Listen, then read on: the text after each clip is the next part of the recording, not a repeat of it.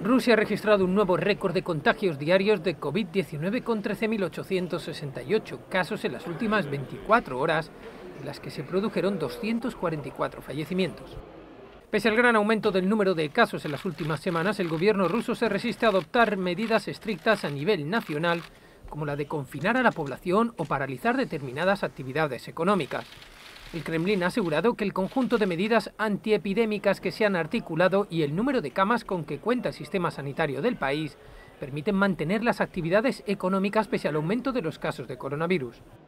Moscú, en donde se han cerrado escuelas a los enfermos crónicos y mayores de 65 años, se les ha recomendado permanecer en casa y se promueve el teletrabajo, sigue siendo el principal foco infeccioso del país con un total de 339.431 positivos por coronavirus y 4.618 fallecimientos desde el comienzo de la epidemia.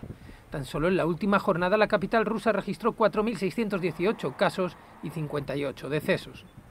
La situación epidemiológica ha empeorado en San Petersburgo, la segunda ciudad de Rusia, que en las últimas 24 horas registró 557 contagios, un nuevo récord de casos diarios. Aunque en relación a la población el número de positivos en la antigua capital imperial rusa es muy inferior a Moscú, la letalidad del COVID-19 en las orillas del río Neva es mucho mayor, un 6,7%, ya que con un total de 48.686 casos, acumula 3.275 fallecidos. Desde mediados de septiembre los casos diarios de coronavirus en Rusia prácticamente se han triplicado. El presidente ruso Vladimir Putin ha admitido que la amenaza del virus no ha cedido y que las autoridades están preparadas para cualquier desarrollo de los acontecimientos.